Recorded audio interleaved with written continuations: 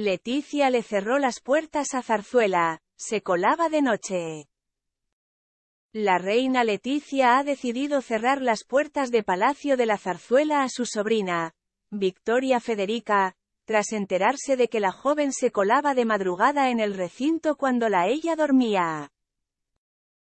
De acuerdo con diversos medios de comunicación, la hija de la infanta Elena tenía por costumbre acudir al palacio después de una noche de fiesta para pasar la noche en la casa de su tío, el rey Felipe VI. Sin embargo, esta práctica llegó a oídos de la consorte, quien no está dispuesta a que su sobrina le dé una mala imagen a la monarquía. Por tal motivo, la reina Leticia habría ordenado a los guardias de seguridad de Zarzuela a no dejar entrar a Victoria Federica a partir de ahora.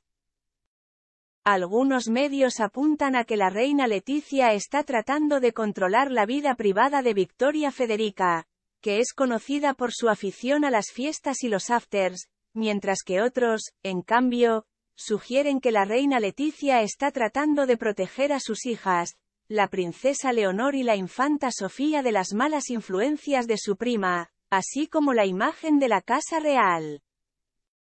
Victoria Federica y su vida de fiesta.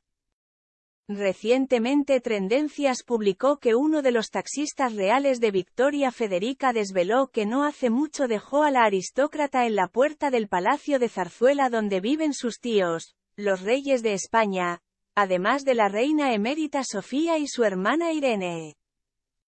De acuerdo con la declaración del conductor, la joven influencer se subió al coche después de una fiesta en una discoteca de moda y me dijo que la llevara a Zarzuela.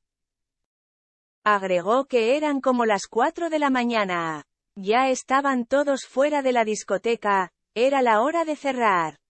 Me acuerdo porque por aquel entonces ella estaba con el DJ, Jorge Bárcenas, lo que dio a entender que ya transcurrió aproximadamente un año de aquel hecho.